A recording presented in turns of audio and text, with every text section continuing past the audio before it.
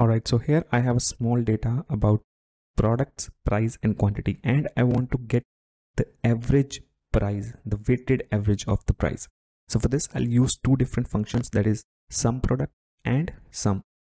First of all, I'll use the sum product function and get the sum product of price and quantity for all the five products.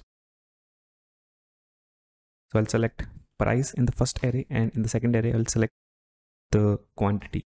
Now the moment I hit enter, it gives me 98288.6. That is the sum of all the products.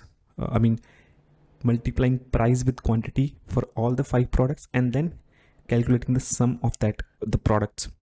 And now after that, I will enter sum function and I will sum all the quantities. Now to get the weighted price, I need to divide this value with total quantity.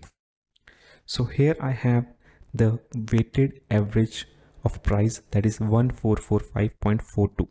Now I can simply use the uh, both of the function in a single cell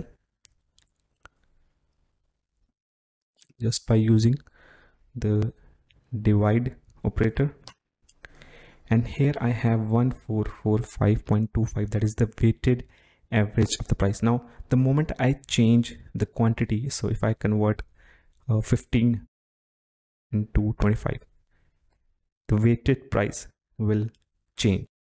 So this is the easiest way to calculate the weighted price or anything for which you want to calculate the weighted average